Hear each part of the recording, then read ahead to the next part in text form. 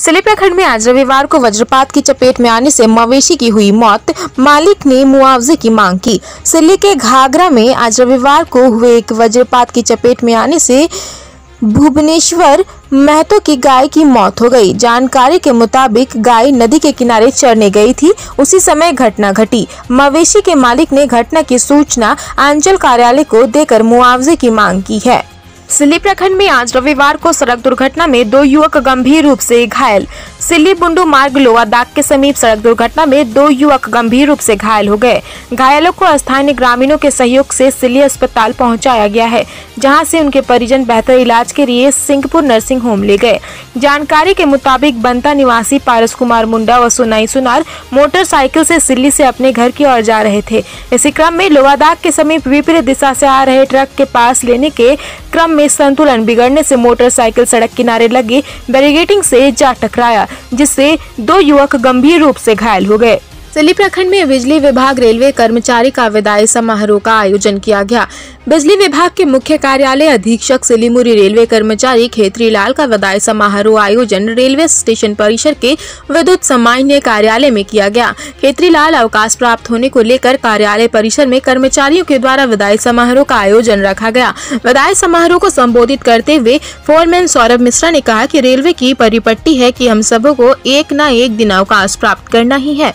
इससे मनुष्य को घबराना नहीं चाहिए, बल्कि अवकाश प्राप्त होने के उपरांत अपने परिवार के साथ मिलकर अंतिम समय तक सुखमय जीवन व्यतीत करें और आशा और अपेक्षा करते हैं। वही खेतरी लाल ने कहा कि 38 साल रेलवे की सेवा करने के पश्चात मुझे आप लोगों के पास से जो प्यार मिला है, इसे मैं कभी नहीं भुला पाऊँगा। इस दरमियान हमसे जो भी भूल हुई है, उसे माफ़ करते हुए क्षमा करेंगे। समारोह के दौरान सभी ने उन्हें उपहार भी दिए। इस मौके पर फोरमैन सेवा Saurabh Mishra B K Yadav, Sanjay Kumar Rai, N S Prasad, Om Prakash, Vijay Hemrom समेत पार्वती देवी आदि मौजूद रही।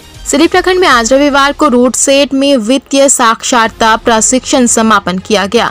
संस्थान में प्रमाण पत्र भी दिया गया। सिली रूट सेट संस्थान सिल्ली में छह दिवसीय वित्तीय साक्षरता प्रशिक्षण का समापन आज किया गया। प्रशिक्षण अशोक कुमार एवं वैर्य संकाय अनिल कुमार के प्रशिक्षुओं के बीच प्रमाण पत्र वितरण कर किया गया। प्रशिक्षण में ज़िले के विभिन्न इलाके के कुल 35 प्रशिक्षुओं ने भाग लिया। इस मौके पर संस्थान के जगदीश महतो, महेश रोहिदास समेत अन्य लोग शामिल हुए।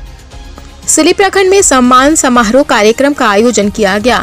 सिली प्रखंड में आँसू पार्टी प्रधान कार्यालय सिल्ली में आँसू पार्टी प्रखंड समिति के द्वारा नव निर्वाचित जिला परिषद उपाध्यक्ष वीना चौधरी का सम्मान समारोह आयोजन किया गया। समारोह में केंद्रीय संगठन सचिव जयपाल सिंह, सुनील सिंह, संजय सिद्धार्थ, जितेंद्र बड़ाइक, लक्ष्मण महतो, अनिल मांझी, सविता रानी, चंचला भुक्ता, शर्मिला कुमारी, आरती देवी, अनिता देवी समेत आँसू के कार्यकर्ताओं ने सिल्ली पश्चिमी के जिला परिषद सदस्य व रांची जिला परिषद उपाध्यक्ष वीणा चौधरी को फूल माला एवं अंग वस्त्र देकर सम्मानित किया। मौके पर वीणा चौधरी ने कहा कि यह हमारी नहीं, बल्कि पूरे क्षेत्र की जनता की जीत है।